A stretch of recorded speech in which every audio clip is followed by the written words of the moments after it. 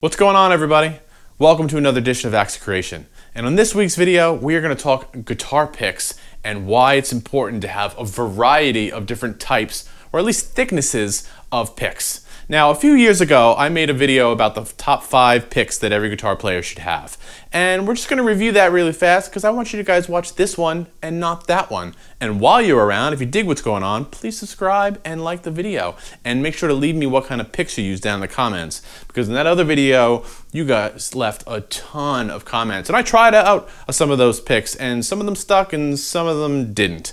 Now, I reviewed a couple of picks that I think every guitar player should have because they kind of serve a different purpose, right? We talked about the Jazz 3, which is your typical shred guitar, right? It was one of the first guitar picks that I ever had. I, I got it really early on in my playing, and if you're a metal player, if you like to play shred, Jazz 3 should be in your arsenal. It's small, it's compact, it keeps your hand really close to the, to the bridge so you can palm mute and keep your hand accurate with not a lot of excess movement. So as the years went on, I slowly moved away from the Jazz 3. I started experimenting with other picks and I moved on to more of a standard size pick. And one of the ones that I really liked was the Dunlop Ultex pick. And it pretty was pretty much was my go-to pick for a long time. I made that top five picks video back in 2015. And I was talking about it then, and it's it's been my go-to pick since then. And we talked about using the different thicknesses of this of a pick, right? If you're playing again, if you're playing hard rock and metal, you might want a thicker, stronger pick because it's going to help your attack and it's going to help your tone. But if you're strumming an acoustic or or chords or playing something softer that doesn't need that attack, then you might want a more flexible or a thinner pick. And again, those thicknesses are all personal preference, but having the bend, the flexibility in your pick, again, it's gonna come through in your tone. So whether you're using the Jazz 3s or a standard size pick, it's still important to have a variety of thicknesses on your plectrums, right? Because that's gonna come across in your tone, in your attack, and everything that you play. And it's slowly gonna become part of your sound. Now, in that video, we also talked about some specialty picks, right? You can have the really thick, big drop attack picks, right? Or you can have these. These are sick picks, and they're kind of bent and squirrely looking. They kind of seem weird, but if you like to shred, well, then these guitar these picks are actually really nice because just the way they're angled, you don't have to overturn your hand that much. Some people find it comfortable. I kind of didn't. Not not my thing, especially when you start strumming around some chords. I'm a big chord player, regardless of how much distortion I have, and these kind of get hung up on my pick. Just personal preference. Now, these big ass drop picks, attack picks. I love these things. They're, I've talked about it before, but um, when it comes to especially practicing, sometimes I'll, many of us have a, tendency to over squeeze in the right hand, right? We just squeeze the shit out of our picks and we see the whites in our knuckles.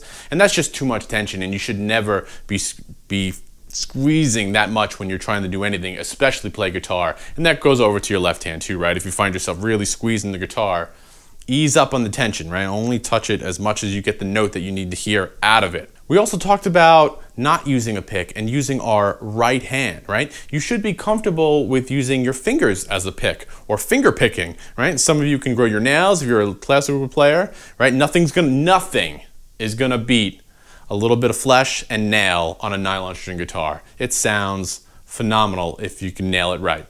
Excuse the pun, sorry not on purpose. Now, recently over at Winter NAMM, I was handed a bunch of bags of the new Dunlop Flow picks. And I have to be honest with you guys, I haven't stopped using them since. I absolutely love the feel, the sound, the attack, everything about the, the Dunlop Flow. And those picks come in a variety of different thicknesses, right? We have your basic 73 here, and then you have something all the way up to this 4.2 monstrosity. And again, it's just really comfortable, regardless of which one I, I'm using. I just like these picks. The one con, I'll be honest with you guys about these picks, sometimes you get a little moisture in your hand, and they can become a little hard to grab, but I've only experienced that less than a handful of times, and it's May. I've been using these picks for about five months live and in the studio it's not really an issue, but it that can happen if you have ex excess moisture in your hand. I don't know, man. Put some powder on your hands. But what I really like about the Dunlop Flow picks is essentially their shape, right? They're a little bit smaller. They're not as long as a standard size pick. And obviously they're a little bit bigger than your Jazz 3 shape. And it's just a really comfortable pick in your hand. And I'm a big fan and I highly recommend it. You guys know I have a bunch of different types of picks. I think they're important to have a variety in your toolbox depending on what you need, right? You have a Phillips head, a flathead, a bunch of different tools. You should have a bunch of different picks. The Dunlop Flow picks, new weapon in my arsenal. I haven't stopped using it, right? Because mainly because they come in a variety of the thicknesses. I like the 4.2, the 3, the 2, the 1, all the way down to the 0.73. Again, depending on how and what I'm playing. So what do you guys think? Have you, have you tried the Dunlop Flow picks? Do you like them? Are they comfortable?